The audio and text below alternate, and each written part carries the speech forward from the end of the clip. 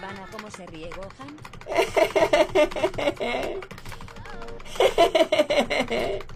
Es medio tímido como se ríe, pero no... No me sale la cara porque es una cara muy anime la que pone cuando se ríe, ¿verdad que sí? Pero es medio tímido riéndose. La concha puta.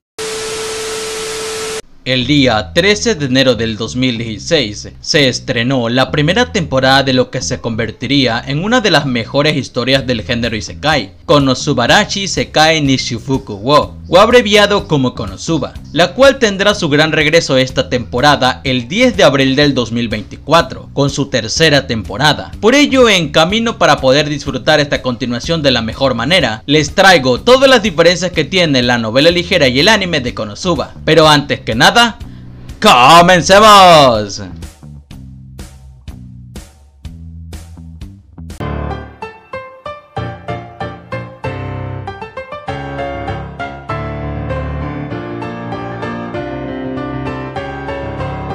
La habitación en donde Kazuma conoce a Aqua es diferente en la novela ligera, la cual tiene una silla y una mesa de escritorio. En el anime, la silla de escritorio y la mesa se sustituyen por una mesa blanca de madera y una pequeña al lado.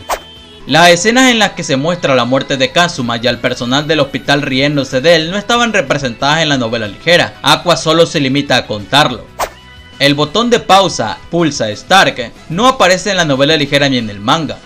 Rufián, el señor que tiene algunos diálogos cómicos, es un personaje que fue creado para la novela web de Konosuba, pero fue eliminado de las novelas ligeras. Sin embargo, como saben, la adaptación al anime lo incluyó, ganándose tanta popularidad que tuvo un cameo en el volumen 1 del spin-off Bedus.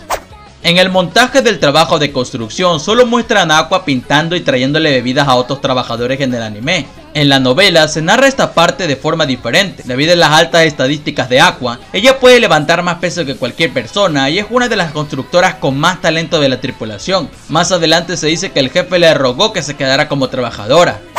En la novela ligera, Aqua le enseña explícitamente a Kazuma su habilidad de trucos de fiesta, belleza de la naturaleza, mientras que Kazuma solo vio a Aqua ejecutarla en el anime.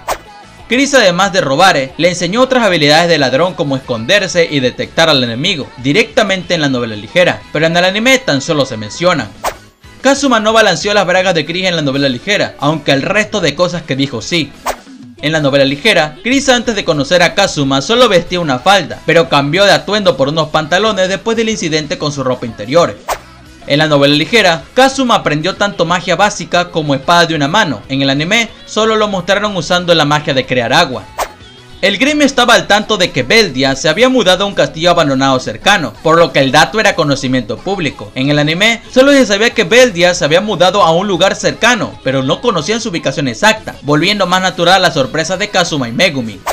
Aqua estaba furiosa con Mitsurugi por intentar ganársela como si fuera un objeto, y por compararla implícitamente con algunas espadas de herrería normales. En el anime, Aqua estaba comiendo alegremente y no le prestaba mucha atención, ignorándolo completamente.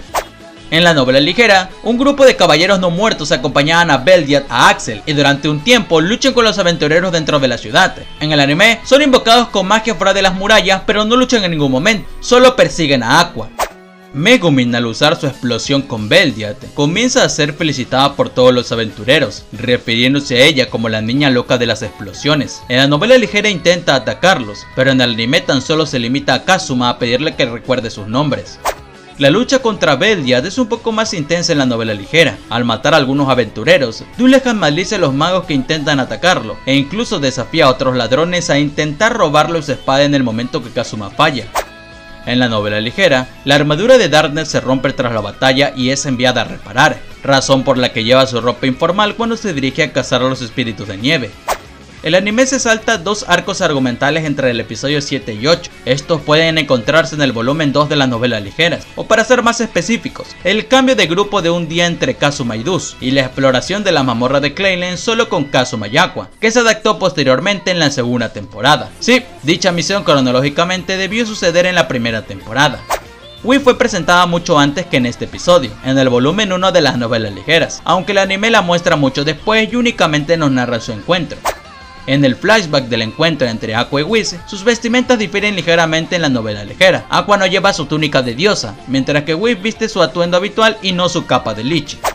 En la novela ligera, Whis menciona que solo hay un general del rey demonio del que es amiga íntima. Sutil menciona a Vaniri.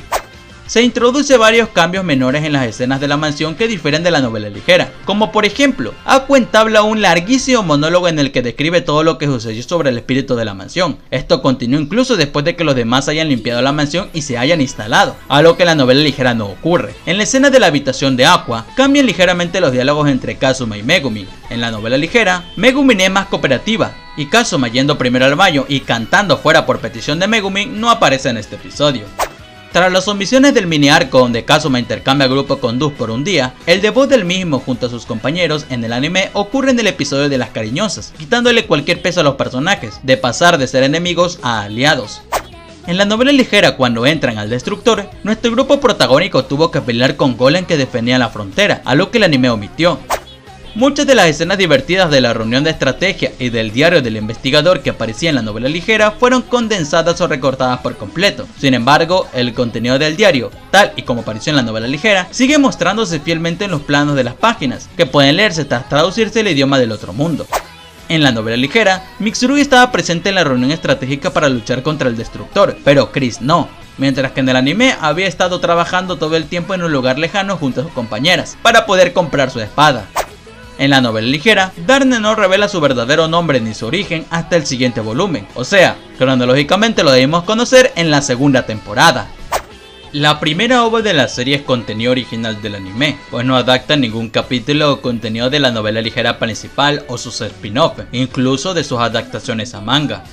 Posteriormente, el juego Panchico Soul Konosuba, que salió el 4 de abril del 2022, un juego de tragaperlas panchico japonés, usa esta ova como su principal inspiración. Escenas como la compra de pan de Aqua, las flexiones de Darnet y la almohada del regazo de Wii son cosas que aparecen en el juego, aunque no solo se limitan a copiarlo, ya que crean escenas originales, como una escena teórica en la que Chris también estaba presente.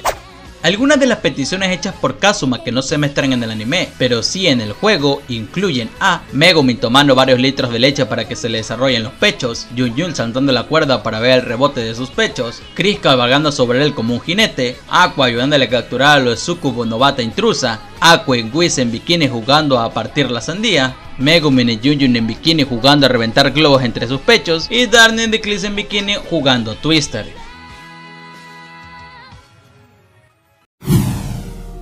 Y en fin, estas fueron todas las diferencias de la novela ligera y el anime de Konosuba, las cuales como pueden ver son bastantitas omitiendo mucho contenido y cambiando el orden cronológico de algunos eventos. Pero por sorprendente que parezca, el anime no se siente para nada incompleto, pues cada capítulo es increíble con una dirección espectacular y hace dejar de lado el contenido original, algo sorprendente viniendo de mí, alguien que es muy quisquilloso que quiere ver plasmado cada palabra en una adaptación, pues el estudio le tuvo tanto aprecio a la serie que logró darle su propia esencia. Pero logrará mantenerse esto en la segunda temporada, lo descubriremos en la segunda parte de este video, preguntándoles ahora qué piensan ustedes? ¿Qué opinas de la primera temporada de Konosuba? ¿Qué de las cosas te hubiera gustado ver? Por mi parte, el intercambio de equipos que tuvo con Dus, déjamelo saber todo en los comentarios. Y sin nada más que aportar, adiós.